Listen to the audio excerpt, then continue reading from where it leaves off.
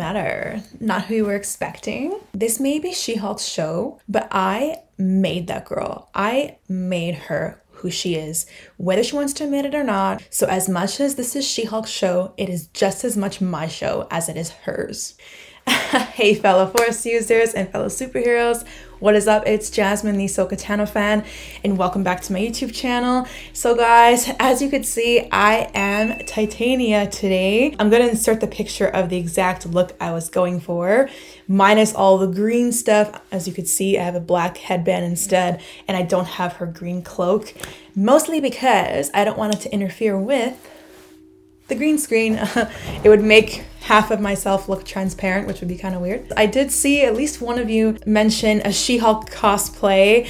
Um, unfortunately, I wasn't able to get that one in time for the finale, so I figured why not go as Titania this week? And last week, as you saw, I went as Jen, so kind of like the best of both worlds, you could say. I just want to say thank you guys for your comments as well from last week. It really meant a lot to me. I'm feeling a little bit better now, taking it one day at a time. I really do appreciate you guys as always. So let's talk about last episode, guys. Last episode was crazy. So much to break down. I really loved seeing the Jen Daredevil team up. Not only did I like seeing the two of them in action together, but I also liked how they kind of learned from one another. For example, Daredevil really let Jen know just how much good she could do in her position. Jen can use the law to defend those whose society has failed, and then She-Hulk could defend those who the law has failed. So I really like that. Daredevil is obviously completely anonymous person and Jen is the opposite. She's out in the open. And you really saw the unfortunate consequence of that by the end of the episode. That part was really sad to see and it does kind of make you wonder is it worth it being a superhero where everybody knows your identity? It definitely puts a target on your back and you saw that happen to Jen. During that scene, you saw Jen for the first time really become a true Hulk. The true Hulk that Bruce kind of warned her about from the first episode. For the first time, people were actually afraid of her. And so I am curious to see going forward what's going to happen there. It definitely looked like she found herself on the other side of the law by the end of the episode. She's going to have to really rely on other people to help her the way she's helped everybody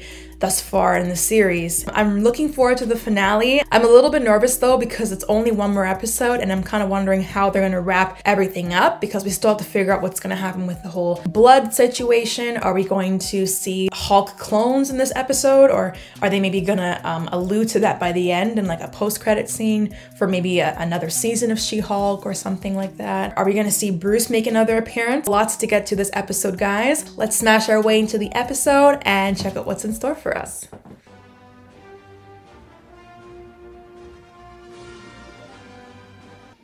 We didn't get any recap this time, did we? Or is it just me? Because normally we have the recap first, then the Marvel intro. I don't know. Lawyer Millennial, searching for a way to balance a career and her personal life. Then an accidental dose of gamma radiation. What is this? A movie? It looks like she's acting in a movie. The creature is driven by rage. Don't make me angry. You wouldn't like me when I'm angry. Oh my gosh, is that Mark Ruffalo? Oh shit, it kind of looked like him for a sec. Ended her in prison, and now she is seen only for the raging spirit that dwells within her. Oh, did they just say she's in prison? The Savage She-Hulk. Oh, that's one of the comic issues, right? Oh, damn. We need to identify every individual who hacked my private information. They baited you and you took the bait. I was angry, which is how anyone would respond in that situation. But you're not just anyone. You are an out of control Hulk. That's what all the witnesses saw. Oh, damn. They both make good points, unfortunately. We have an offer for a plea deal. The DA won't pursue any charges related to the incident. What are the terms? She can't be Hulk anymore? She Hulk? Oh my gosh. So just what just what Blonsky had to wear. Man, I feel so bad for her. Oh my god, don't kill me. People go to prison every day. I love that they're trying to cheer her up. I will continue to work here because they paid me nicely. Mm. Uh, don't worry about you guys. Oh, she's getting fired, obviously. who wish to remain anonymous said they are uncomfortable knowing an unstable super being lives just next door. Unstable, man. I would say she's been pretty stable, man. Excuse me, Jen Walters. Do you care to comment about losing your superpowers? She didn't lose them. What the hell? But my gym stuff is in your room now, and I work out every day at 7 a.m. You go, girl. Workout buddies. Oh, this will be fun. Oh.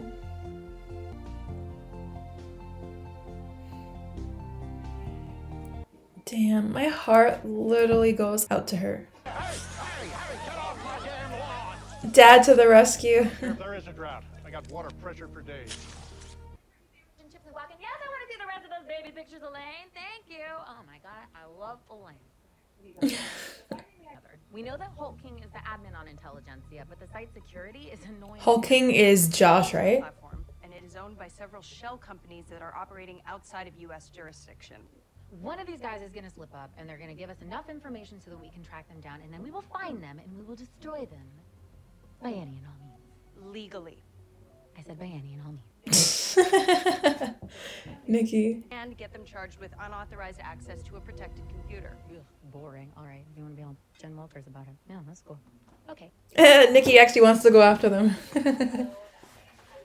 You might get a kick out of this video that Jen and her friends No, made in Los Mom, Angeles. no. My mission. I like to see this. No, no. oh my gosh. Everything that's happened, and I can't do that if you're hovering. Okay, okay, she Can you send that to me, please? already did. Oh, goodbye, Mom. Oh my gosh. Don't kill me. Oh boy, Jen. That's correct. We worked together at the district attorney's office, and we Is he speaking out against her? she was psycho way before she got those superpowers. Oh. Our. Damn. I guess he's getting back at her for what she was saying about him during his case, but what she said, even though she was dissing him, it did help him.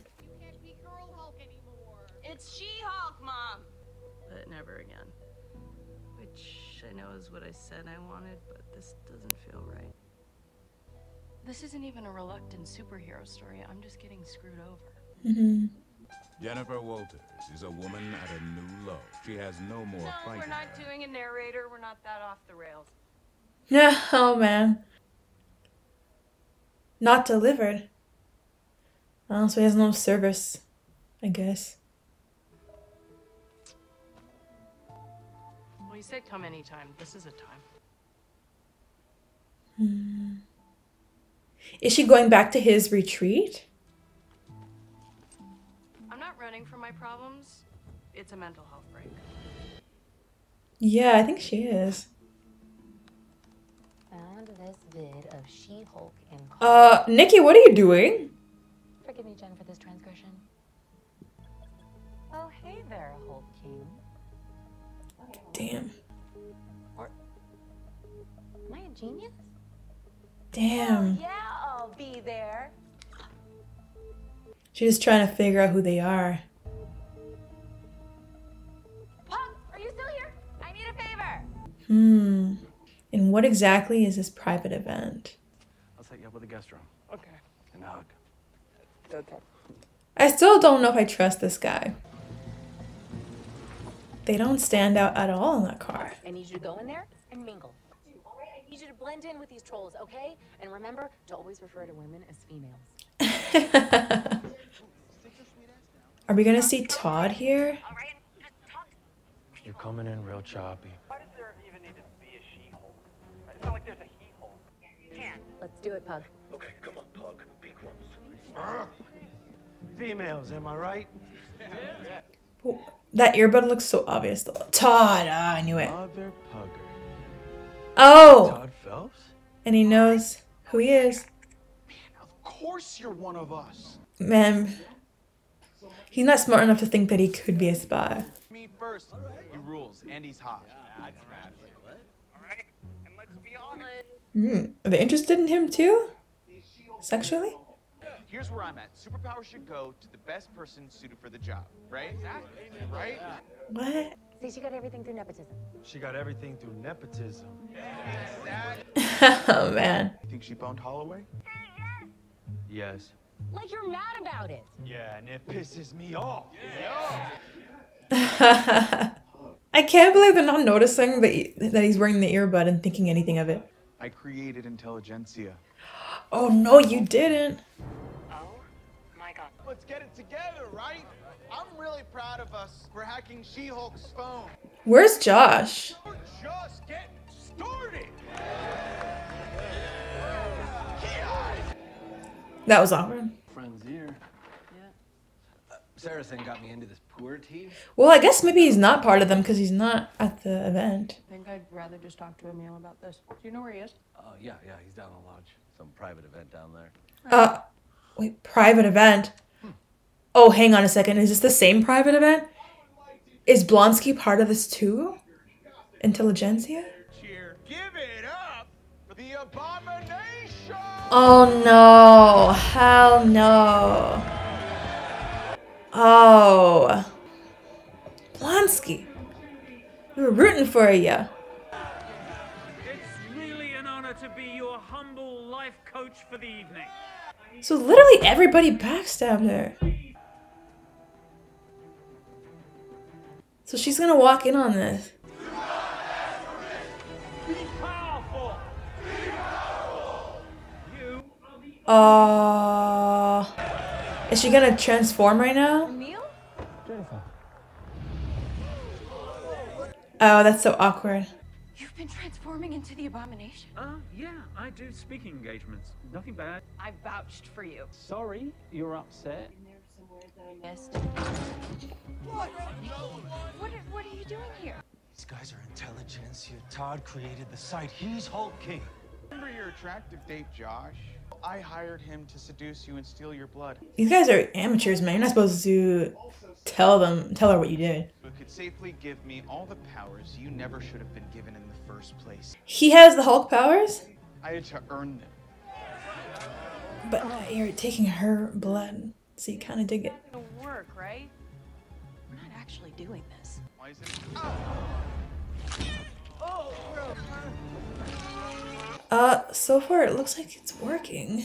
Possibly be where this season was going. What's the catch? Surprise, losers. Ah! On, There I am, Titania to the rescue. Yeah. So, despite all this, she's still not allowed to transform. Oh, Bruce! Everybody's showing up here.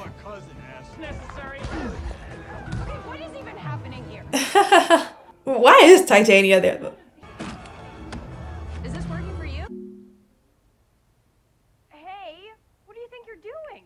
This menu is not gonna stop. Oh my god, wait. I thought my screen messed up for a sec. This is part of the show, right? All right, let's see here. No. Oh my gosh, this is so trippy and very creative.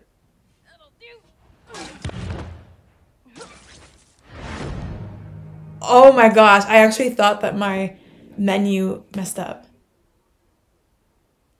I'm confused right now.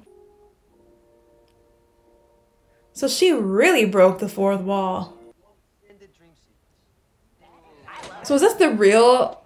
These are the real writers? Do you think, or? What kind of stupid finale is this? The bad guy steals my blood in order to give himself superpowers.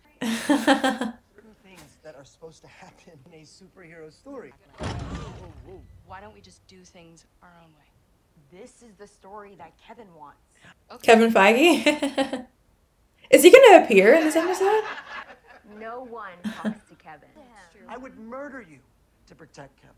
I'm going to go talk to Kevin now. Are we gonna actually see him? Let me just have you sign our non-disclosure agreement and then Why'd you make me sign if you were just gonna do that? everyone has to sign the NDA.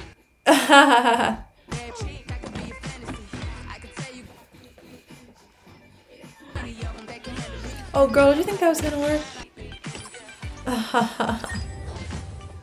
this is so funny. So I guess Kevin must be really hard to reach in real life.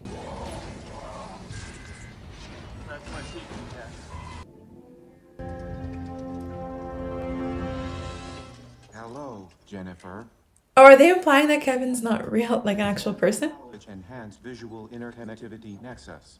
Were you expecting a man? Almost reminds me of Gladys from Totally Spies.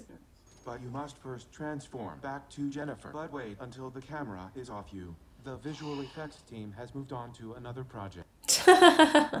I possess the most advanced entertainment algorithm in the world. Some are better than others. I leave that debate up to the internet. It's often said that Marvel movies all end the same way. Wait, who's saying that? Perhaps this is a re- whole blood thing that seems super suspiciously close to super soldier serum at the audience in the climax. I propose we don't have to do that. It distracts from the story, which is that my life fell apart right when I was learning to be both Jen and She-Hulk.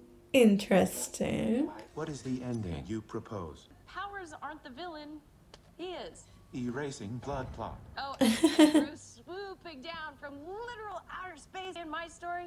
But Bruce is supposed to return to explain what he was we're going to introduce. Uh, save it for the movie.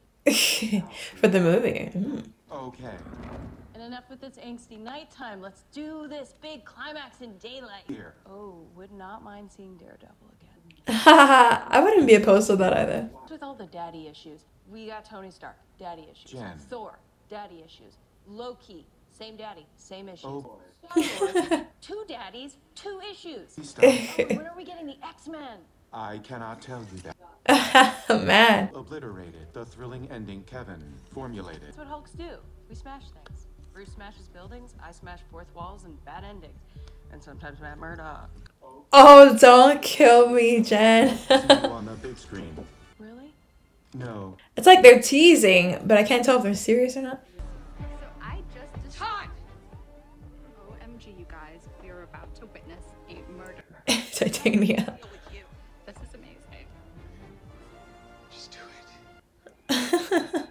I'll see you in court, babe.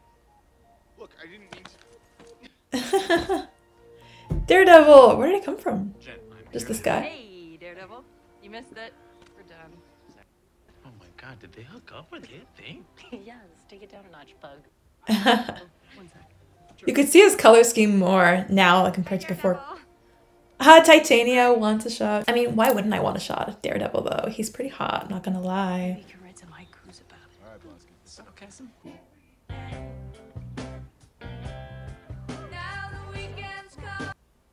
Hell's Kitchen doesn't sound like a very nice area.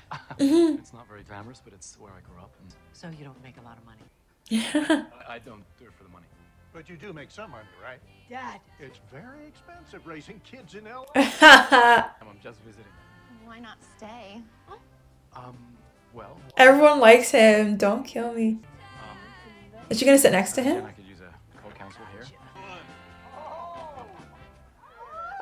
There again. I know I've been away on Sakaar for a while.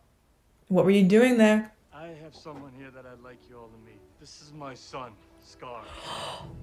Whoa! I think one of you mentioned that way back when. I think that was mentioned in a video I saw way back when. Skaar? Whoa. People like Todd Phelps have to be held responsible for their actions. If you attack, harm, or harass innocent people, I'm coming for you. Do you mean in the courtroom or as a superhero? Both. Both. Who are you wearing to court today? Okay. Oh, is that her suit that that Luke made her? Okay, interesting. Kevin. Oh, he's reading. Which one was that? Which issue of She-Hulk was that? Was that Savage She-Hulk? Oh, there's Todd there. So she did take him down in court, and they're all sweating because they know they're next. Up. We do have a post-credit scene now. Oh, Wong. You got sucked into another show, didn't you? We're really in an era of peak TV. What's the guest policy at Kamar-Taj? Um, it's Shared fridge? We're kind of all one with everything. Then. What about Wi-Fi? Wi-Fi. Ah. Hold on. So I'm wondering, is that one of the times where he he um, snuck or broke him out of prison, or is that supposed to be in the current timeline? Because I guess he was put back in prison because he transformed into the abomination, right? So I'm guessing that's present. Okay, guys, so definitely an interesting finale. I will say that there were a couple things I wish we had seen from it, but let's start with what I liked about it first. First of all, 100%, hands down, probably the most creative finale I've ever seen. I really liked how they had Jen truly break the fourth wall here. She's been doing it all along with her lines in the script throughout the series, but this time we physically see her break the fourth wall by going into the Marvel recording studios um, and even having a chat with Kevin, which was hilarious. They did a really great job with teasing a lot of what's to come in the future. You saw between Jen and Kevin, Jen would say things like, oh, save it for another season or save it for the movie. And then she would ask, oh, what about a season two? What about a movie? And then Kevin would say, oh, yes, I mean, no, like there was kind of a bit of joking going on, but they definitely are teasing at the fact that this storyline is not done just yet, and in fact, it's just getting started. Even at the beginning of the episode, they did tease Savage She Hulk which is um, another comic issue. So they're definitely teasing that there is more to come. Of course, with the ending scene with Bruce introducing his son, Skaar, there, that's a big one. On Sakaar, Bruce met a woman, and she was basically part of the shadow people of Sakaar. So Bruce meets her, falls in love, they get married, has a son named Skaar, who has his own abilities, which are kind of like the Hulk's, but he's not as intelligent as the Hulk. His name is Skaar, not to be confused with Sakaar. He was first introduced in the World War Hulk comic issue number five. So between She Hulk and Marvel Studios teasing more to come in the future, and now Bruce and his son Skaar, are we potentially setting up for World War Hulk content in the near future, either in the form of a movie or perhaps another Disney Plus series? So that part was all very interesting. I do like how they set up for what's to come. They did a great job with that. In this episode, I also really liked how Jen took control. It's ironic, and she even uh, mentions this how in the beginning of the series, she wanted nothing to do with the superhero lifestyle at all. She just wanted to be Jen. And then now in this episode, at the beginning, she was kind of forced to be just Jen and was prohibited from transforming into She Hulk. So, over the course of the series, I think she has come more to terms with She Hulk and learned to accept She Hulk as her alter ego. And she kind of adjusted her lifestyle to accommodate both Jen and She Hulk. And then now she's being told she's not allowed to be She Hulk. She doesn't really like it. And I think that's because she doesn't have control over it. Anything she can't control and make the decision about when it comes to her life, she doesn't like. And I guess in the beginning, she felt like she Hulk threatened to take control of the life that she had already built as Jen. And so now that she's built a life as Jen and She Hulk, and she's told she's not allowed to transform into She Hulk, she feels like she's losing control again. This episode actually, I think, helped her come to terms with She Hulk even more. And you could see when she's going up the steps to the courtroom by the end there, the reporter asks her, Are you going to bring people to justice as a superhero or in the courtroom? And she had to pause for a second and she says, Both.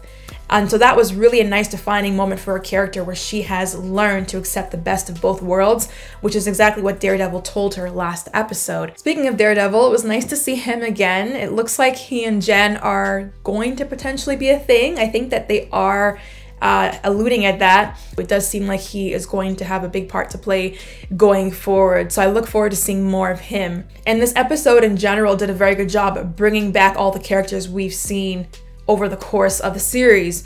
Uh, we saw Todd and the whole Intelligencia thing, which we got to talk more about that in a second. Titania came back, Daredevil, you saw Bruce and now his son Skaar. You saw Emil Blonsky again. You even saw Wong in the post-credit scene. Looks like he's taking Emil Blonsky to Kamar-Taj now. So does that mean that he is maybe gonna learn some of the ways of sorcery? And Blonsky also said something about how you took your time you got sucked into another show, didn't you? So, what show is he referring to? Is this hinting at the fact that he possibly is going to get his own show soon? Or maybe there will just be another show that also features him? It was nice to have a post credit scene actually, because we hadn't had that for a few episodes. I think the icing on the cake would have been just to show Madison maybe one more time. I do like how they took down Intelligencia by kind of using their own words and their own doctrine against them, so to speak, by basically just pretending to be one of them. And it wasn't even that hard to do, as Nikki had joked about. So that was kind of clever. I am surprised that we didn't see Josh again, though. I thought that we would have had him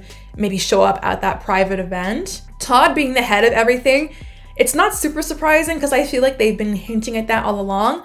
But at the same time, from the last episode, when Jen was basically exposed in front of everybody, Todd was sitting in the audience at the time of when she smashed everything. And it was actually a few people in the background that had their faces covered that ran away. So it's almost like Todd was doing a good job at not making it super obvious that he was necessarily involved.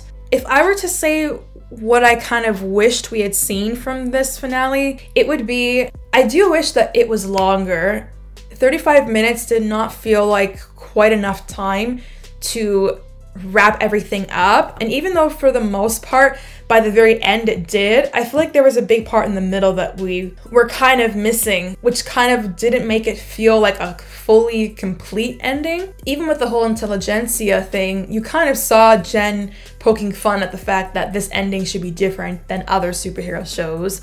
But then I kind of thought that we would go back into that story and they would finish up in the way that Jen had envisioned but instead, it kind of fast forwarded to after everything.